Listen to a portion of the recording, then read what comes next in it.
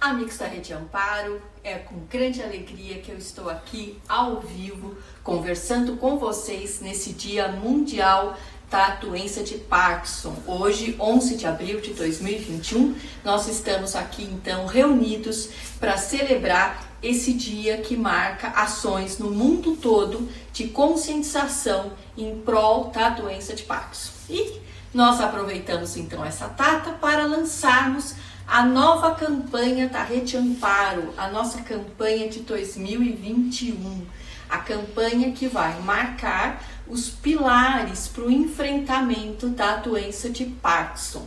Então fique atento, essa campanha nós vamos desenvolver durante todo o ano e hoje a gente vai com grande alegria, com grande prazer apresentá-la para você. Então, para marcar então o lançamento da campanha, eu farei uma prévia apresentação rescatando um pouco sobre a doença de Parkinson, né? Hoje, 11 de abril, é marcado é, para comemorar a doença de Parkinson em homenagem ao James Parkinson, que foi a, o médico inglês que descreveu a doença. E depois a gente vai entrar propriamente dito na campanha. Então, vamos começar. Bom, então a gente vai conversar hoje. Vamos rapidamente para as pessoas que ainda não estão completamente familiarizadas com as informações básicas, informações principais sobre a doença. Vamos falar sobre a doença de Parkinson. Depois a gente vai falar então sobre o que a ciência mostra como as melhores estratégias, os pontos chaves, os pilares para o enfrentamento da doença de Parkinson e, finalmente, como a rede Amparo pode ajudar na construção, então, desses pilares, tá certo? Muito bem, então. Então vamos começar, né? Hoje a gente está falando 11 de abril, dia do nascimento do James Parkinson, por isso que, isto, que esse dia foi escolhido como uma ação mundial para a doença de Parkinson. Tá aqui, né, a descrição do James Parkinson lá em 1800 e 17 a gente já comentou com vocês. Hoje a gente não poderia deixar de mencionar o brilhantismo né, do James Parkinson ao descrever esses casos. É, é, muito curioso porque alguns desses casos não eram pacientes dele. Ele observou essas pessoas é, na rua e conseguiu identificar que um conjunto de pessoas no hospital que ele trabalhava e essas pessoas que ele observava na rua é, tinham um conjunto de sinais que poderiam caracterizar uma nova doença, que ele chamou então de paralisia agitante. Por quê? Porque ele já identificava algumas coisas que a gente conhece bem hoje da doença de Parkinson, que é o sinal cardinal da doença, que a gente já vai falar, mas que é a praticinesia, essa dificuldade para iniciar e para concluir os movimentos, essa alteração da velocidade, da fluência, mas ao mesmo tempo tinha tremor.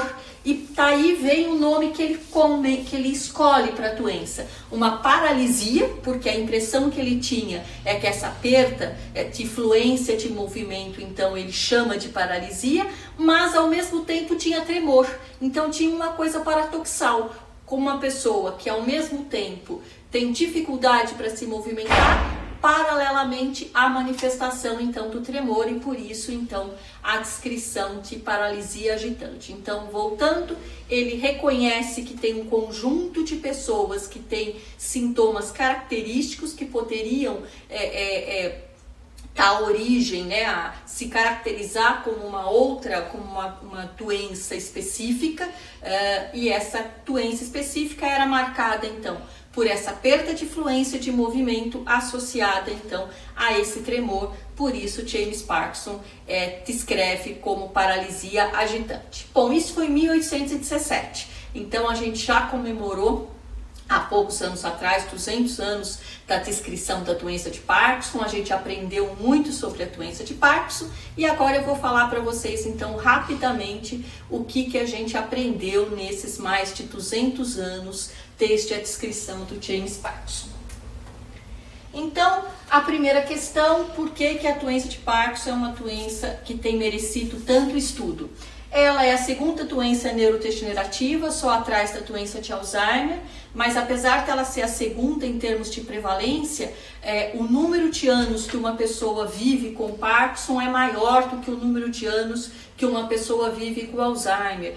Tem, ah, ao contrário do Alzheimer, que é a, a, a grande maioria das pessoas realmente é, a, manifestam a doença mais no final da vida, a doença de Parkinson a gente tem um contingente é, importante de pessoas que podem ter essa, essa, as manifestações do primeiro sintoma ainda na terceira, quarta década de vida. Então, apesar dela ser segunda em prevalência em relação à morbidade, em relação ao número de anos que uma pessoa pode viver convivendo com a doença, a doença de Parkinson tem uma morbidade maior.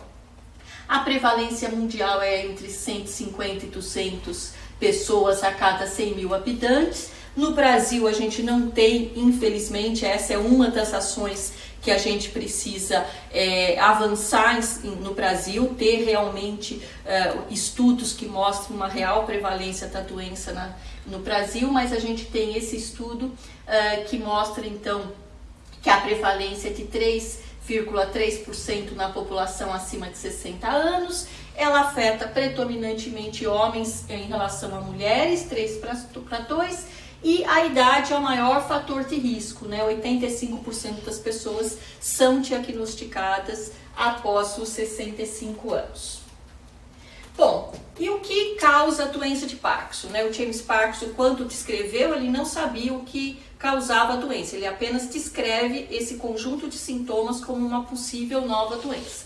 Então a gente vai ter que, hoje a gente sabe, embora a gente não conheça a causa da doença de Parkinson, a gente sabe que é uma interação entre alguma característica genética que a pessoa tem para alguns subtipos da doença de Parkinson. A gente tem genes bem descritos para a doença de Parkinson idiopática, que é a que atinge o maior número de pessoas, a gente sabe que há uma predisposição genética, mas a gente não conhece exatamente como se dá essa transmissão, quais as características dessa transmissão. Com fatores ambientais, o fator ambiental que a gente mais conversou ano passado foi sobre o fator é, de exposição, por exemplo, a agrotóxicos, né? Então, quem quiser resgatar, procura aí no, no site da Rede Amparo, no canal do YouTube, que vai encontrar, então, toda a nossa conversa sobre, por exemplo, o agrotóxico como um fator ambiental de risco para a doença de Parkinson. Então, existem outros fatores ambientais que a gente também não conhece exatamente quais são, então a, a, causa da doença é desconhecida, mas a gente sabe que é uma interação entre fatores genéticos e fatores ambientais, certo? Isso vai levar a um metabolismo celular anormal, um metabolismo dentro dos neurônios anormal e vão se formar então placas, vão se formar é, é, é, deformidades, digamos assim, dentro desse neurônio que vão, vão levar a uma lesão e à morte desse neurônio. A morte dos neurônios numa região específica aqui, nessa região mais enegrecida que chama-se substância negra. Ela é enegrecida porque ela é, é, é, rica em ferro e parece que esse é um dos fatores aqui associados a essa alteração metabólica, certo? E com a morte desses neurônios vão surgir então os sintomas. A falta desses neurônios vão levar ao mau funcionamento de algumas áreas cerebrais que vão causar as alterações da doença de Parkinson. Bom, qual a questão? A questão é que esse processo aqui que nós estamos vendo, né, essa alteração no metabolismo e essa morte, ela vai acontecendo aos poucos e vai levando a uma série de alterações que são sutis, que nós não percebemos, nós ainda não somos capazes de perceber desde o início do processo. Então, o que, que nós vamos ter? A gente vai ter aqui, então aqui o tempo zero é quando eu consigo fazer o diagnóstico da doença, certo? Vocês vão ver que aqui está em anos, até 20 anos antes do início da doença, o que, que eu posso ter? Eu posso ter começo de algumas alterações. Por exemplo, a prisão de ventre. De ventre. a constipação intestinal. E a pessoa tem o intestino preso, imagina que possa ser por vários fatores, mas nunca vai imaginar que isso possa ser um primeiro sinal da doença de Parkinson. Depois começam a aparecer, por exemplo, alterações do sono. A pessoa passa a ter uma má qualidade do sono. Isso é muito comum e é comum a muitas alterações. Ou seja, ninguém vai imaginar também que uma pessoa que tem o intestino preso e que tem alteração de sono, e ela esteja é, com uma degeneração neural, ou seja, ela já esteja em curso com a doença de humor, como a depressão. Você pode começar a ter exatamente porque não dorme bem à noite, ter uma hipersonolência. Então você vai ter uma série de alterações que são inespecíficas, que muitas outras condições de saúde podem trazer. Portanto, não é possível se fechar o diagnóstico da doença. Quando que a gente consegue fazer o diagnóstico da doença? A gente que eu estou falando no geral, porque na verdade quem faz o diagnóstico da doença de Parkinson é o neurologista. Que quanto o neurologista consegue fazer o diagnóstico da doença de Parkinson? quando aparecem os sintomas que a gente chama de cardinais, aqueles que é, é, caracterizam a doença de Parkinson. Que são eles, então? Essa perda de fluência que o James Parkinson observou e chamou de paralisia, que hoje a gente chama de bradicinesia, a rigidez muscular, uma tendência a pessoa a manter uma tensão muscular aumentada, o tremor, que a gente já vai ver, além de outras alterações que podem aparecer aqui já. Dores, que apesar de não ser um sintoma é, é, muito falado na doença de Parkinson, a gente também tem conversado bastante com vocês sobre a prevalência muito alta de dor em pessoas com Parkinson, a fadiga, alterações cognitivas, então começam a aparecer outras alterações juntos, é, paralelamente a essas alterações motoras, que agora sim permitem o diagnóstico da doença. A partir do diagnóstico, há uma progressão então da doença, a doença de Parkinson, infelizmente, é progressiva e nós não conhecemos ainda a cura, então ela vai progredir e isso vai trazer, por exemplo, alterações urinárias, alterações autonômicas, a, a, a, os sintomas motores podem se aumentarem na sua gravidade, levando alterações de equilíbrio, alterações na marcha.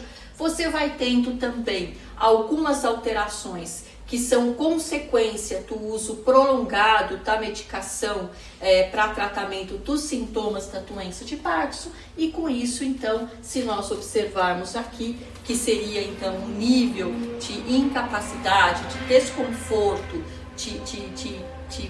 questões que alteram a qualidade de vida, isso vai se, se acentuando com a progressão da doença e por isso esta figura é muito importante não para assustar ninguém, mas ela é muito importante para nos conscientizar que mesmo a pessoa que acabou de receber o diagnóstico, a doença não começou aqui. A doença começou há 10, 20 anos atrás. Então, mesmo no momento do diagnóstico, já é o momento dele começar a mudar seu estilo de vida, a procurar atitudes mais saudáveis, a buscar tratamento, porque ele já está no prejuízo, ele já está correndo atrás de uma alteração que estava acontecendo silenciosamente no seu cérebro há muitos anos. Então, o propósito dessa figura é este: é lembrar que quando você recebeu o diagnóstico, na verdade você já estava é, é, atrás da corrida contra a doença. Por isso que você não pode perder tempo. Muito bem. Então, os critérios aqui diagnósticos, a gente acabou de falar, quanto que é possível se fazer o diagnóstico da doença. Quando você tem pelo menos um dos três sintomas sendo que o principal dele é essa perda da fluência do movimento, essa lentificação do movimento. Bom, por que que às vezes é difícil identificar esse que é o sintoma mais importante da doença?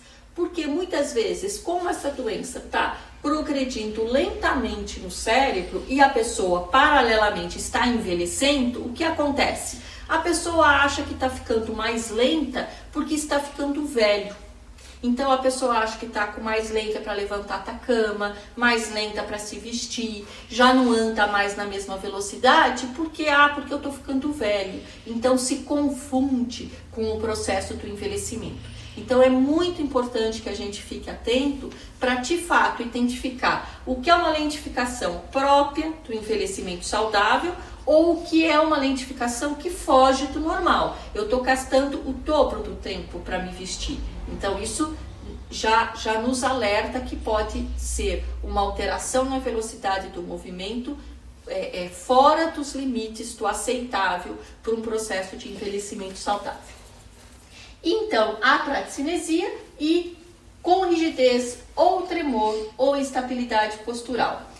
No passo 2 é você excluir que isso possa ser uma outra doença, então você faz um diagnóstico por exclusão, como por exemplo uma pessoa que teve um, um AVC, né, um pequeno derrame, então você exclui outras causas que poderiam estar justificando esses sintomas. E o aspecto 3 é um critério é, é, positivo no, em dois sentidos. Um, ela é progressiva, então, por exemplo, um derrame, um AVC, isso não deve ser progressivo. A doença de Parkinson, isso deve ter uma progressão. E uma boa resposta ao principal é, tratamento medicamentoso, que é a levotopa. Então, a morte daqueles neurônios leva a uma diminuição na produção do neurotransmissor chamado dopamina. E é isso que vai causar todas essas alterações. Então, qual é a principal medicação? A medicação é eu tentar repor de forma exógena pela boca a, a essa dopamina que está faltando. Eu não consigo repor diretamente a dopamina, então eu reponho um precursor da dopamina que a gente vai chamar de levotopa.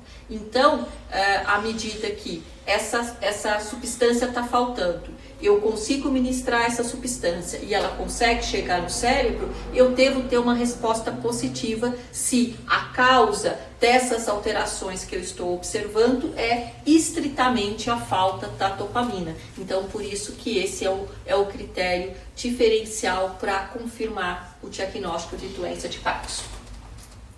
Bom, então rapidamente aqui os sinais cardinais aqui da doença é, eu acho esse vídeo muito interessante porque vocês estão vendo, enquanto a mão que está trabalhando não treme, mas a mão que está em repouso treme.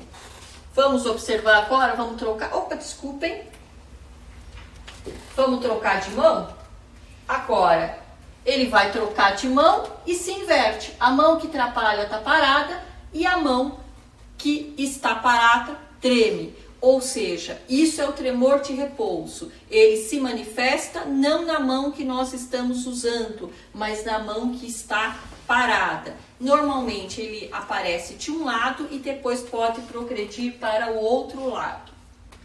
Aqui a rigidez. Observe então essa pessoa com Parkinson, a gente está tentando deslocá-la. Ele parece um daqueles bonequinhos congelados. Ele está todo rígido, principalmente aqui no tronco. Então esse é um outro aspecto uh, que no início não é muito marcante, mas com uh, uma parte dos casos, com a progressão da doença, isso se torna muito marcante.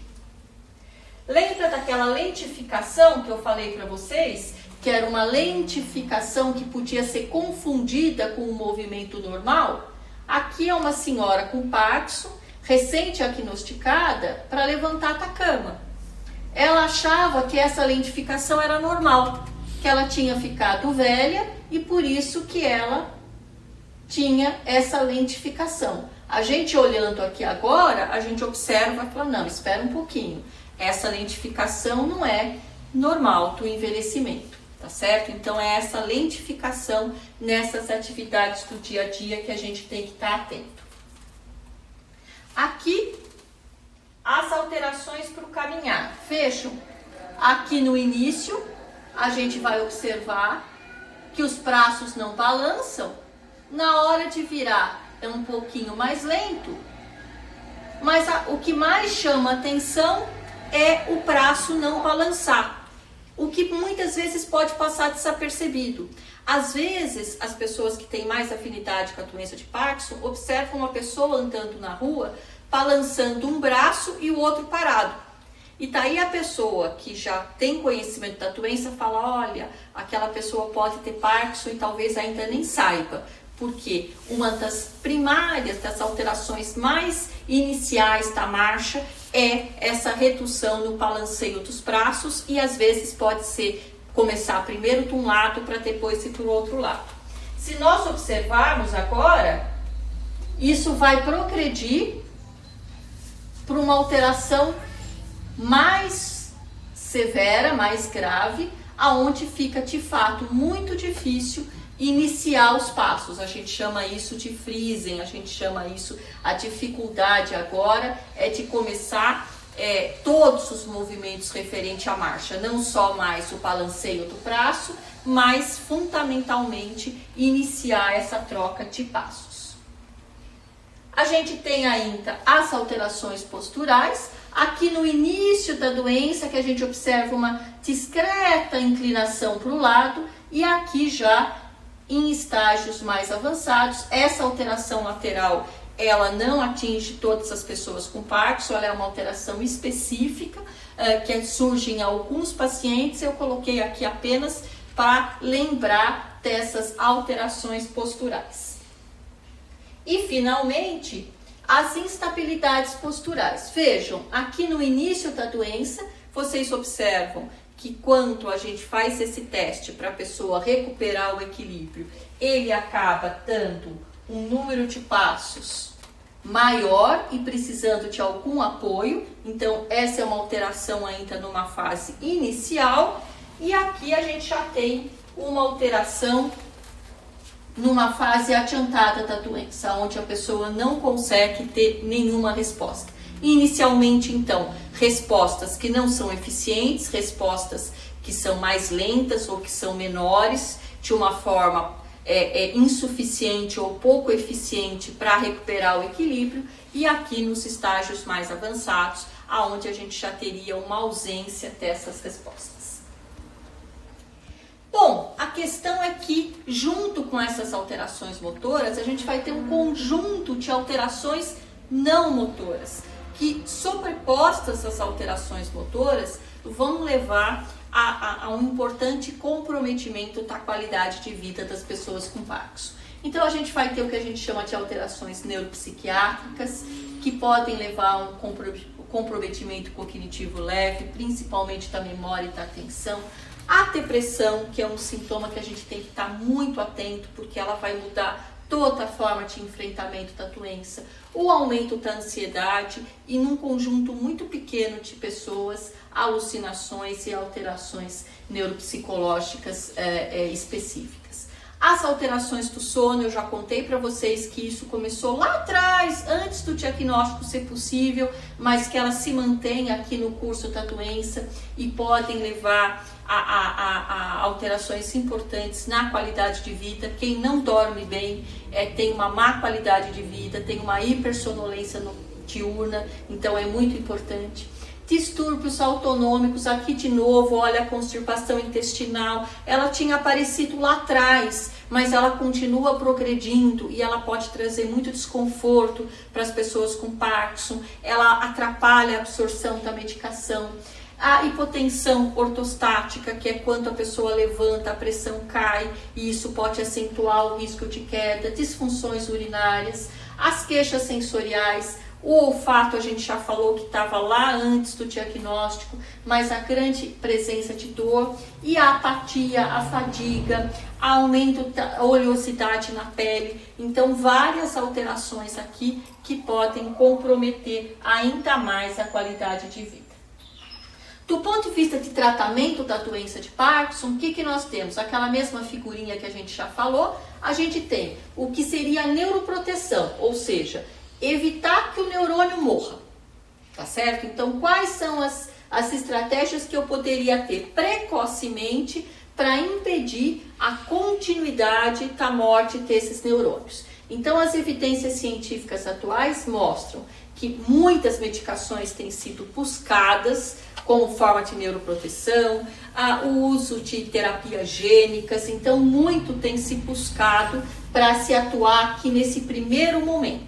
Do ponto de vista de comportamento, de, alterar, de modificações comportamentais que possam ter um resultado de neuroproteção, a gente teria aqui os exercícios aeróbios. Do ponto de vista de restauração, ou seja, eu tentar repor aqueles neurônios que já morreram. Então eu teria as terapias que a gente chama de neurorestauração, que seriam, por exemplo, as cirurgias para uh, implantação de células embrionárias que poderiam se diferenciar em novos neurônios que produzem dopamina, substituindo aqueles que uh, morreram. Uh, também lá no, na, na, no, nosso canal do YouTube da Rede Amparo, vocês vão encontrar a, a palestra que nós fizemos ano passado, exatamente nessa data, eh, marcando então eh, os avanços nesse tipo de terapia. E o tratamento é relacionado ao controle dos sintomas. Então, são basicamente o tratamento medicamentoso. É, março, o tema escolhido pela rede, pelos amigos da Rede Amparo foi tratamento medicamentoso. Então, busquem, porque vocês vão encontrar uma revisão completa do tratamento medicamentoso para a doença de Parkinson. E os tratamentos adjuvantes, que são exatamente a fisioterapia, a fonoaudiologia, a psicologia, o apoio, a orientação da pessoa da enfermagem, os exercícios físicos, então todos os outros uh, intervenções que ajudam a controlar os sintomas da doença de Parkinson. Bom, então chegamos aqui finalmente na campanha 2021 da Rede Amparo, os cinco pilares para o enfrentamento da doença de Parkinson, é, baseados então nas evidências científicas que nós temos até o dia de hoje, até 2021. Então, para marcar então esses pilares, nós temos a, a, uma melodia a melodia para a melodia certa para enfrentar o Parkinson. Então a melodia certa, o to ré mi fa si, que marcam então para que a gente consiga memorizar, para que a gente consiga se apropriar desses pilares. Então, a primeira nota é a letra dó de domínio de todas as informações sobre a doença para poder fazer melhores escolhas. Isso é o primeiro passo. Você que recebeu o diagnóstico, você que convive com a doença de Parkinson, o primeiro pilar para que você consiga enfrentar essa doença é que você a conheça, né?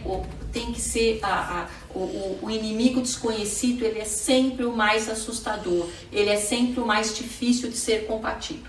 Então, a primeira questão é estudar esse inimigo, estudar essa, essa, essa, essa, essa, essa condição de saúde que invadiu então a sua vida. Para quê? Para que você possa fazer as melhores escolhas, tomar as melhores decisões. E não sou eu que estou falando isso. Como eu falei para vocês, a Rede Amparo toda seguia pela ciência, então a gente tem aqui ah, evidências sobre ah, ah, como essa mudança de atitude em relação à doença, essa mudança de você sair de um, de um, de um papel aonde você só recebe é, orientações sem conseguir entendê-las completamente. Então o médico falou para tomar esse remédio, eu tomo. Mas para que serve esse remédio? Por que, que eu estou tomando? Por que, que eu estou tomando cinco vezes por dia ao invés de tomar uma vez por dia? Por que, que eu tenho que tomar o resto da vida? Por que, que eu tenho que tomar este ao invés deste? Então, essa mudança de atitude, de você buscar informação, de você se apropriar dessas informações, para que você possa ser parceiro da equipe de saúde, discutindo as suas escolhas, ele muda então os resultados, ele muda a qualidade de vida das pessoas que vivem com a doença de Parkinson. E a gente tem aqui então essa posição proativa, certo? Se eu chego na consulta e o médico é, é, me examina, é, chega no final da consulta, ele me entrega a, o receituário e fala: pronto, aqui está o remédio, é só o senhor ir na farmácia e tomar conforme está escrito aqui. Eu falo: ah, muito obrigado, doutor, quanto que eu tenho que voltar? Ou seja, eu pego o papel da mão do médico e entrego na mão do farmacêutico, levo o remédio para casa e começo a tomar. Em momento nenhum eu falo para o médico, falo assim, não, espera um pouquinho, doutor, vamos ver aqui, vamos ver o que o senhor me prescreveu aqui. Ah, isso aqui, para que serve isso aqui? Não, mas por que, que eu tenho que tomar assim, não tenho que tomar assado? Certo? Ou seja, essa mudança. E eu tô falando da medicação, mas a gente poderia falar a mesma coisa do fisioterapeuta. O fisioterapeuta passa, por exemplo, uma sequência de exercícios e você pega e não conversa, não tenta entender é, por que, que aqueles exercícios são importantes. Por que, que você tem que fazer esse exercício ao invés de fazer aquele exercício? Por que, que você tem que fazer o exercício em pé ao invés de fazer sentado? Por que, que você tem que fazer o exercício diariamente? Ou seja, é uma posição proativa, é, buscando então é, é, fazer uh, o seu papel central, ocupar o seu papel central no gerenciamento então do seu, da sua condição de saúde. Segundo pilar então é uma rede de apoio ampla e forte. Então nós temos falado muito sobre isso. A doença de Parkinson é uma doença muito complexa para ser enfrentada sozinha você precisa pedir ajuda, você precisa construir uma rede de apoio. Só o seu esposo, só a sua esposa não são suficientes para sustentar o gerenciamento, o enfrentamento da doença de Parkinson. Você precisa envolver a sua família mais ampla, você precisa estar perto para os seus amigos, você precisa buscar se relacionar com pessoas que também estejam enfrentando a doença para que juntos vocês consigam trocar informações, para que vocês consigam é, é, aprender juntos. Isso também a gente sabe da nossa prática empírica, né? então a gente sabe, por exemplo, o papel das associações de pacientes na ajuda do enfrentamento, o quanto é importante você é, ter um espaço para conversar com pessoas que estão enfrentando mesma, os mesmos problemas que você. Hoje nas redes sociais a gente vê isso também, mas a ciência também tem mostrado isso.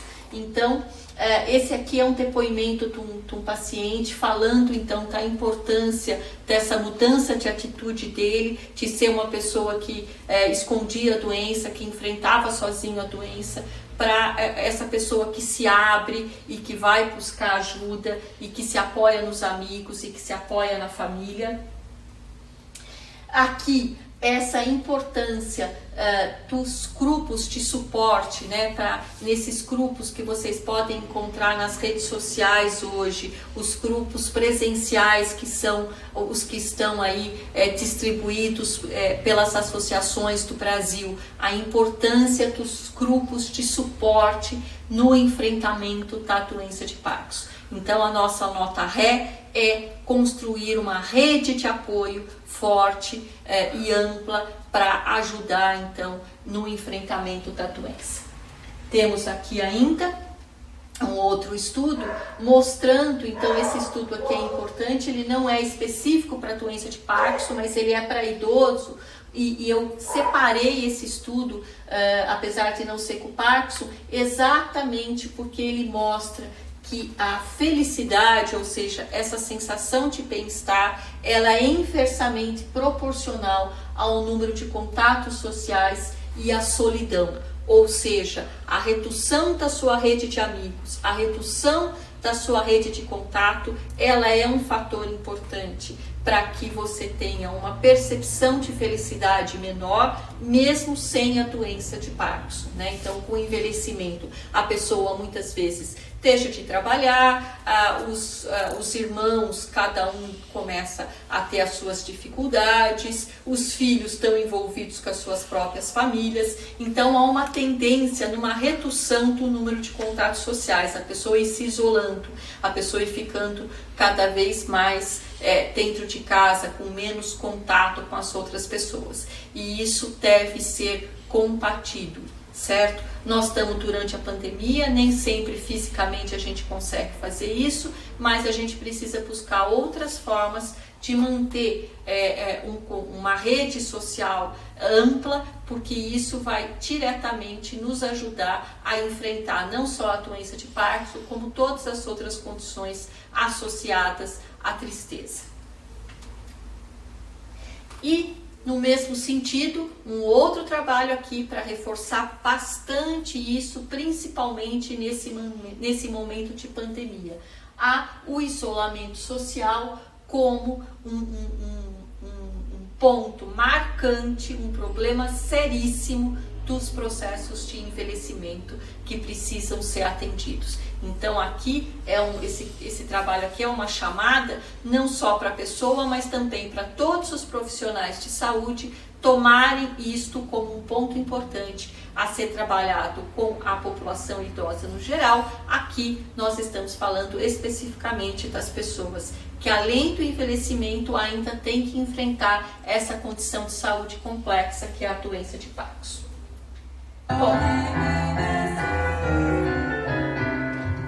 Chegamos aqui na, nota, na nossa nota Mi, que é buscar um cuidado multiprofissional e integrado, ou seja, apenas a medicação ela não é suficiente para é, minimizar todas as alterações da doença de Parkinson. Muitas alterações não motoras não respondem à medicação, os problemas de equilíbrio não têm uma boa resposta à medicação, então você precisa associar a medicação, que sem dúvida ainda é, é o fundamental para o combate dos sintomas, mas você precisa associar outros cuidados, cuidados que envolvem exercício, que envolvem voz, que envolvem mudanças de hábito, que, que envolvem suporte psicossocial. Então você tem que buscar essa rede, você tem que buscar esse, esse apoio profissional. Aonde buscar?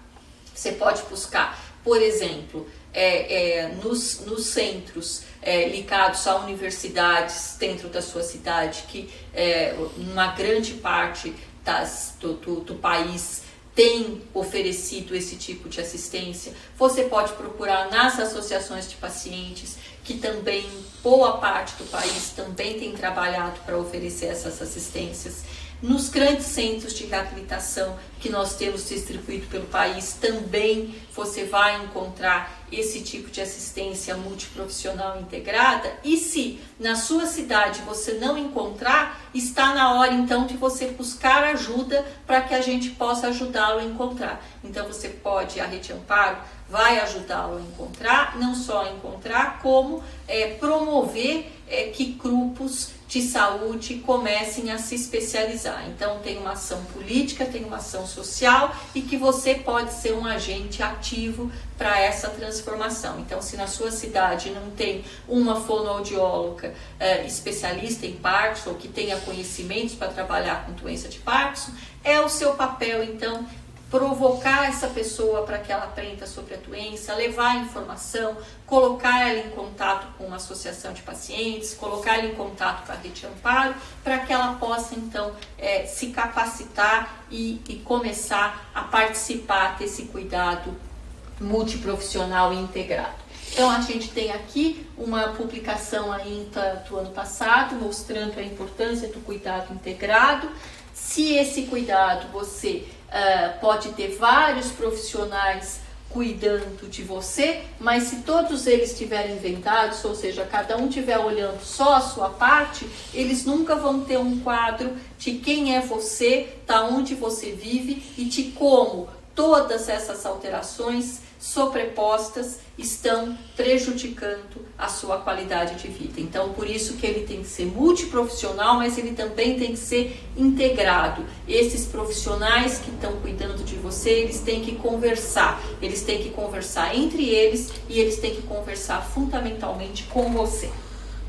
E aqui então o resultado desse estudo, aqui então para sintetizar a figurinha a favor desse cuidado integrado, aqui a favor do que a gente chama de cuidado convencional. Vocês estão vendo, né, que está tudo deslocado para cá, esse balãozinho aqui é o balanço final de todos esses estudos, mostrando então que de fato as pessoas que têm acesso a esse cuidado integrado e integral é, tem uma melhor qualidade de vida em relação às pessoas que seguem um cuidado usual.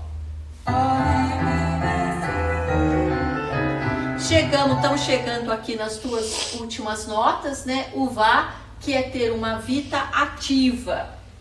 Acho que vocês estão é, né, cansados da rede amparo, é, falar sobre a importância da atividade física, do exercício no combate à doença de Parkinson, não só das alterações motoras, como das alterações não motoras. Eu não vou me estender nisso, aqui tem vários estudos mostrando é, a importância da atividade, não só para as alterações motoras, mas para o sono, para a qualidade de vida. Então, é, eu não vou me estender aqui.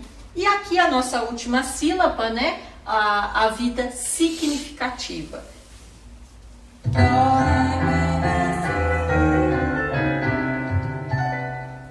Bom, aqui é um estudo publicado no final do ano passado, né? Felicidade, uma nova, um novo desfecho na doença de Parkinson. A gente fala muito em qualidade de vida é, felicidade não é, não, não é uma, um destopramento direto da qualidade de vida, embora esteja associado, ou seja, quanto melhor a minha qualidade de vida, maior a tendência de eu ter essa sensação de felicidade, que é o que todos nós buscamos, certo?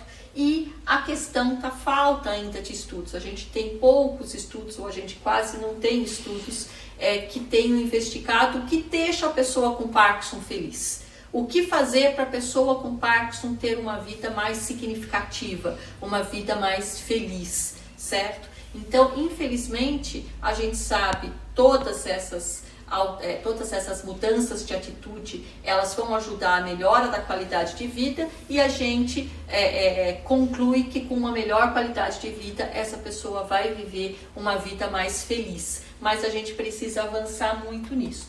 Mas Fora da tua, a gente tem então essas alterações de humor dos estágios mais é, iniciais para os estágios mais avançados, então mostrando que essas alterações de humor, quanto mais graves elas são, ou seja, quanto mais depressiva, quanto mais angustiada, mais ansiosa, mais irritada, mais agressiva essa pessoa vai se tornando, pior a qualidade de vida dela. Então é muito importante que a gente cuide do humor, né? Uh, que a gente tente preservar uma atitude positiva em relação às dificuldades, em relação à doença, em relação à vida, porque isso vai virar uma bola de neve e a mudança de humor vai acabar agravando todas as outras alterações da doença. Mas, fora da.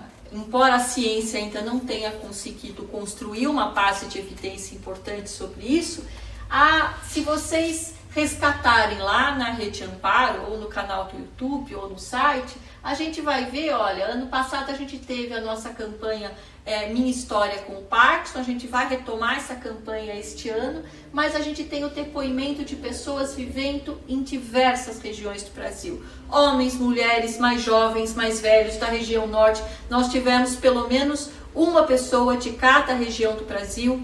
É, nós tivemos ao todo, a gente tem é, uma varredura, é, é, acho que, que bem, bem interessante sobre o que é viver com Parkinson no Brasil. E se vocês escolherem qualquer um deles para assistir, vocês vão ver que o depoimento deles sobre o enfrentamento da doença está relacionado a dar um significado para isso, a terem uma vida significativa.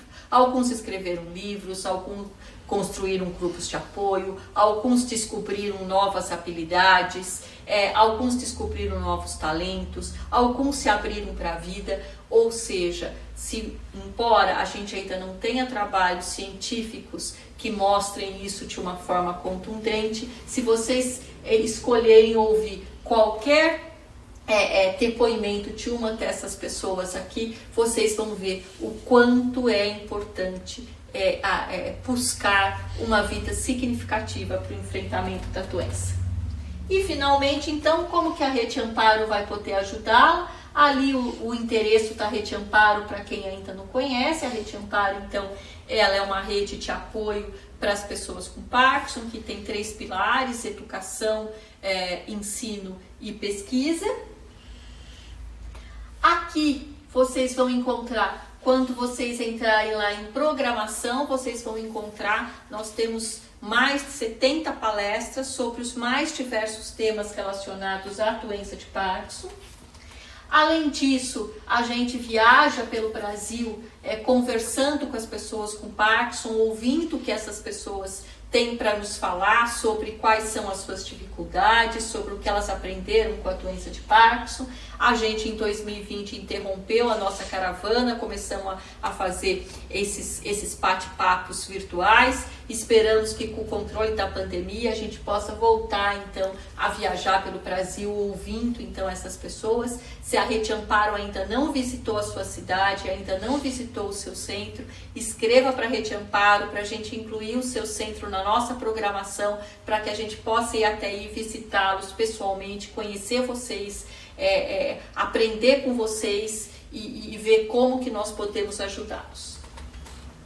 Nós tivemos então as ações Rede Amparo durante a pandemia, então também você vai poder encontrar. Uh, então a gente produziu uma série de materiais em vídeo sobre um programa de exercício para você fazer em casa, para que você não fique parado, uh, muitas informações sobre como administrar as alterações não motoras da doença de Parkinson, cuidado para os cuidadores, para os parceiros de cuidado.